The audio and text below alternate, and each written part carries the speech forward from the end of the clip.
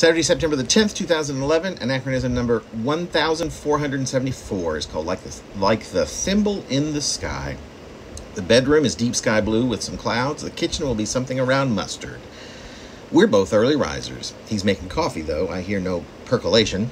Tonight, this room, swap a few poems, a window out of the familiar wrong direction. The eucalyptus tree, a fellow pine, overwhelms me as I write it. I realize I have not been. He'll splash fragrantly in the air, almost none. Good and muddled, sitting in a foreign room like Texas a few weeks later or behind.